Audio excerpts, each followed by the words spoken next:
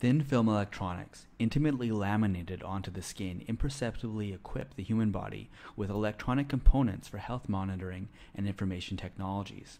When electronic devices are worn, the mechanical flexibility and or stretchability of thin film devices helps to minimize the stress and discomfort associated with wear because of their conformability and softness. For industrial applications, it is important to fabricate wearable devices using processing methods that maximize throughput and minimize cost.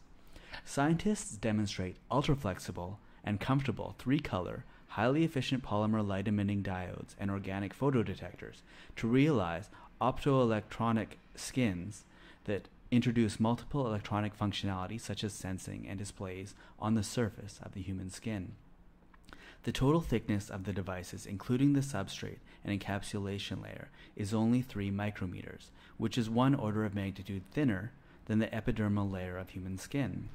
By integrating green and red PLEDs with OPDs, scientists fabricate an ultra-flexible reflective pulse oximeter.